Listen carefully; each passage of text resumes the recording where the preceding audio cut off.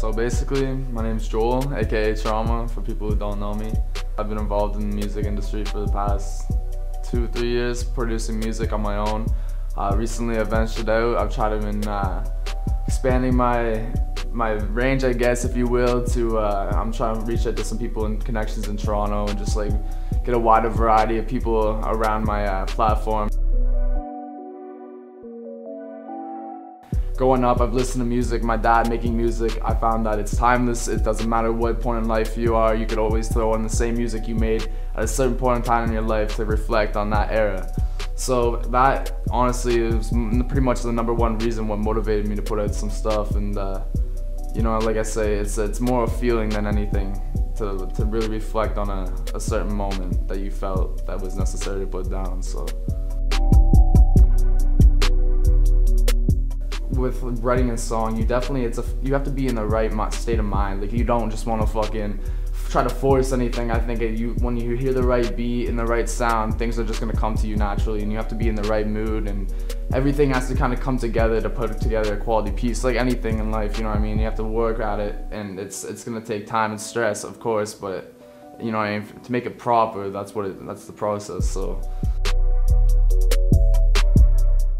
It's definitely been a learning curve for sure. Like I feel that every single time I'm trying something new, it hits me back in the face. But it's like, okay, here I gotta go back, start again. Hmm, like I say, I'm constantly my worst critic, critiquing everything. But I don't know. I feel that uh, it's it's all it's all a learning curve. Like I, you have to go through this, and that's the beautiful thing about it is it's there's no right or wrong way of doing it. It's just all about putting together a piece that you feel confident about at the end of the day, and that can relate to people and make them feel something. So.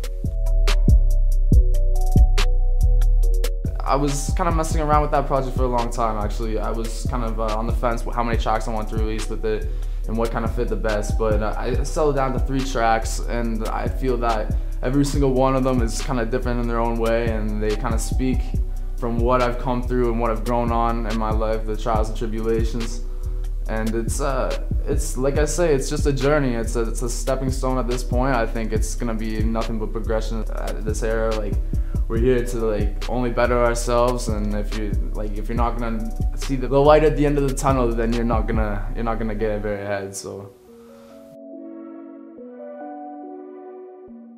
Five years? I mean, it's hard to say. Like, I look back five years from now, and a lot has changed. So, like, more than what I'd even could have possibly imagined. So, it's honestly, I wish nothing but the best. I'm gonna just keep doing what I'm doing. You gotta trust the process. I mean, no one can predict the future, but uh, yeah, it's it's it's all been a great journey so far. You just gotta keep the momentum rolling, and uh, like I say, pray for good things, you know.